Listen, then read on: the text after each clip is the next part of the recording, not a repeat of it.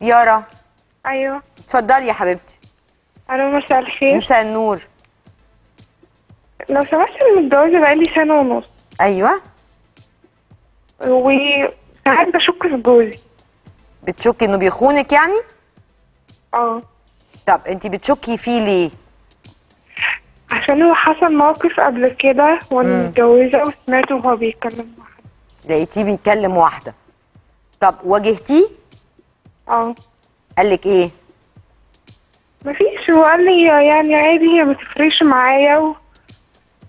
ومن ساعتها حاسة إن هو اتظبط بس أنا يعني مثلا اللي فيه بقى مش عارفة أغيره. آه انت برضو قلقانة يعني انت من ساعة اللي حصل ده وانت قلقانة. آه. طيب أنا طيب. عايزة أقول لك على نصيحة مطلقة حت- كده ليكي ولكل المتزوجات. ال ال لو جالك لو أي واحدة متزوجة أو مخطوبة جالها شك انه خطيبها أو جوزها مش مش تمام يعني في حاجة مش مظبوطة لازم الأول تتأكد وت- وتحط تسأل نفسها سؤال كده. أنا لو اتاكدت إن جوزي بيخوني أو خطيبي بيخوني هل أنا جاهزة إن أنا آخد موقف؟ طيب أنا لو دي أول إجابة انت اللي هتجاوبيها. طيب تاني تاني بقى سؤال تسأليه لنفسك. أنا لو أخدت موقف هل هو ده حل للمشكلة؟ يا مشكلة هتتحل خالص تمام؟ ولا أنا هفتح على نفسي باب من المشاكل أنا مش قده؟ طيب هل أنا سؤال نمرة ثلاثة اللي هسأله لنفسي برضو.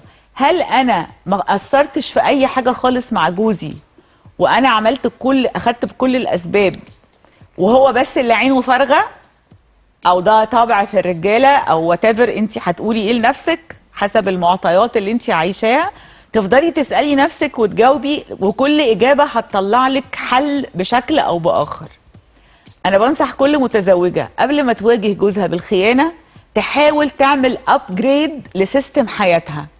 ساعات الراجل ما بيبقاش قصده الخيانة ولا في دماغه الخيانة وبيحب بيته وبيحب مراته وبيحب عياله لكن بيخرج عن الروتين بيخرج عن المألوف آه، محتاج يفضفض مع حد من غير ما حد يحاكمه أو يجلده أو يطلعه غلطان لأن النفس البشرية بطبيعتها راجل أو ست يعني أنا بشوف إن الاعتذار ده نبل وإن الإنسان اللي بيعترف بخطأه ده منتهى النبل يعني حاجة أكتر من ال...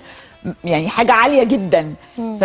فإحنا كشرقيين و... وكده عندنا حكاية الاعتذار أو انه يقول لك أنا غلطان أو كده أو أنا قصرت في حقك هي برضو حاجة صعبة شوية. ف... فإنتي راجعي نفسك وصلحي حياتك وشوفي لو في حاجة وحاولي تحافظي عليه بطريقة غير مباشرة. إن المواجهه المواجهة مش دايما بتكون صح. ولا إنك تنكدي عليه بقى وتفضلي ضربه له بوز وزعلانة وقلقانة. وانت بعد كده تلبسي غلط أكبر دي شكاكه ونكديه ومحصراني وهتخشي في في قصة تانية خالص. فإن شاء الله يعني يا رب يكون كلامي آه، فتح لك مجالات أكتر لل رب. أفضل. يا رب يا دكتور. ك- ميرسي يا يارا. كمان معانا اتصال من مريم. يا مريم. أيوه السلام عليكم. عليكم السلام ورحمة الله وبركاته. اتفضلي عايزة تشاركينا بإيه؟